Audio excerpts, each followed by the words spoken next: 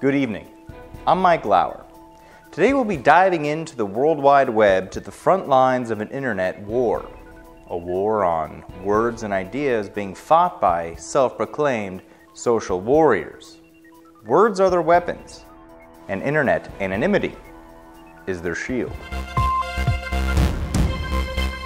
We came down to Simi Valley, California to meet a team of flagists, or to the layman, an online community member that monitors poor behavior. That's where AJ and John found their calling.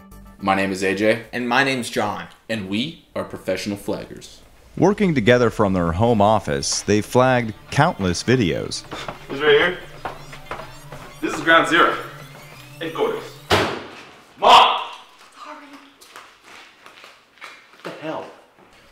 I'd say we're like an online SWAT team. Yeah, nothing gets past us. What sort of material are you flagging? Things that encourage, you know, um, hate, uh, uh, racism, I mean, f- fascism, and uh, corporations. So, you feel the entirety of the internet needs to be in line with your views? That is exactly right. Otherwise, we flag it down. What do you call yourselves? Us, we're the flagits. These so called flagits spend hours online, flagging content they deem inappropriate.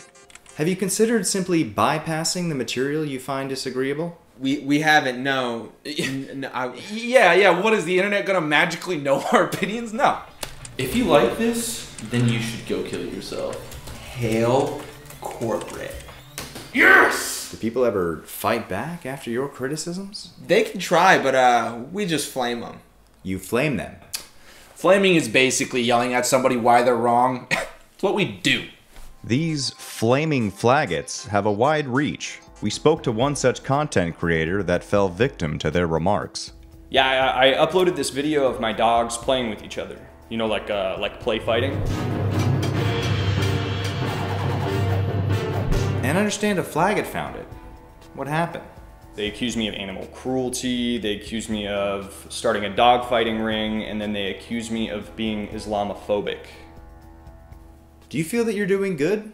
That you're on the right side? Mike, there's a reason why we're called social justice warriors, okay? There's a reason why we're called YouTube heroes. White knight is another term that comes to mind. That's actually racist. Yeah, did you just assume my race? Um, I don't think I did, but aren't you white? Wow, okay, you know, I actually identify as an African American, so uh, we have it hard enough with their goddamn stereotypes. These two flagits seem all too aware they're under the cover of the internet. In one case, we found record of them claiming to be a Navy SEAL who was the top sniper in the entire US Armed Forces. You get into some pretty big fights on the internet. Are you ever worried about an altercation in the real world? Have you seen my sword video? We're warriors inside and out. Think you wrote the rules? You talk crap about a woman or anybody that identifies as a woman, we're gonna have a problem.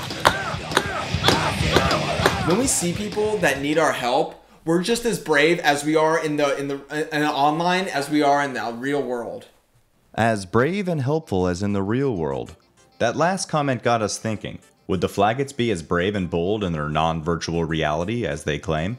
After the interview, we decided to put these two to the test.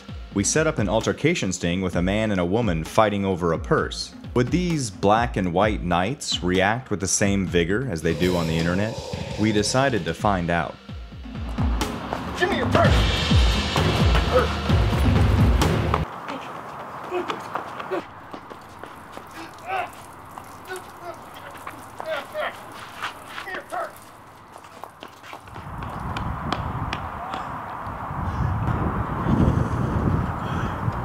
The experiment seemed to prove a theory that has long existed on the internet.